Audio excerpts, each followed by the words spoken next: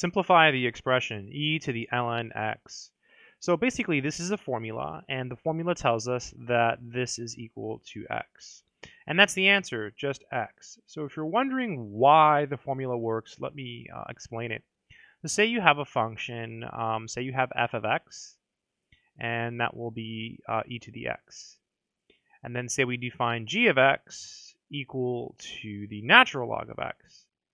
Well, it turns out um, that these are inverse functions. That means they undo each other. So if you take the composition, you know, f og of x, because they're inverse functions, you get x. Well, what is this?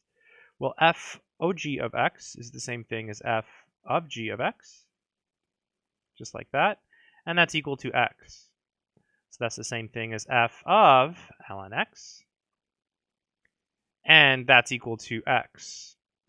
f of x is e to the x, it's right here. So f of ln x means you basically just take the ln x and you replace it with your x. So that will give you e to the ln x equals x. And so the reason is that you get x is because these are inverse functions and they undo each other.